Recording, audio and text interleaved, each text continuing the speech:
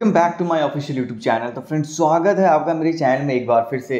तो चलिए ये मंथ अपनी एंड की ओर है है आ, दो ही दिन बचे हैं इस महीने में। तो इसी महीने के दो दिन में खुशखबरी दी है लोक सेवा आयोग ने। जी हाँ लोक सेवा आयोग ने एक नई भर्ती का विज्ञापन जारी कर दिया है। पूरी खबर इस वीडियो में मैं आपके साथ शेयर करने वाला हूँ। तो मेरे साथ हम तक बने रहिएगा।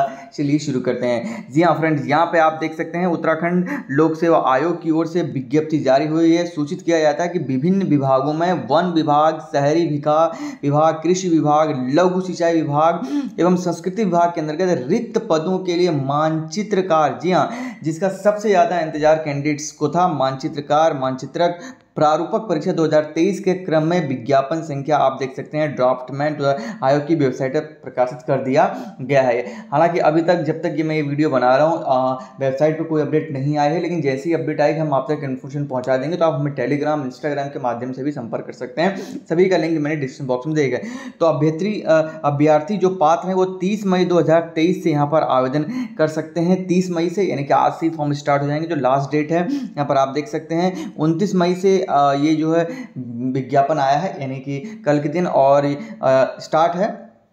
ठीक है? और जो ऑनलाइन आवेदन कर सकते हैं आप 30 मई से लेकर 19 जून तक जो है ऑनलाइन आवेदन कर सकते हैं। बाकी अधिक जानकारी के लिए जैसी फॉर्म आ जाएगा कितने इनकी ऑफिशियल वेबसाइट पे हम सारी डिटेल्स लेके आए आएँगे, लेकिन फ़िलहाल के लिए गुड न्यूज़ ये है कि मानचित्रकार लगभग I think if I am not mean mistaken according to the जो आरटीआई थी, उसमें लगभग साठ से अधिक पद थे। अब ये देखना है कि जब विज्ञापन में कितने पद हैं। तो कोई भी अपडेट आएगी, हम आप तक पहुंचाएँगे। तब तक वीडियो अच्छी लगी तो लाइक कर दीजिए चैनल पहली बार आए हैं तो सब्सक्राइब ज़रूर कीजिएगा। मिलता हूँ नेक्स्ट वीडियो में। थैंक्स वॉचिंग में जय हिंद, जय भारत, जय उत्तराखंड।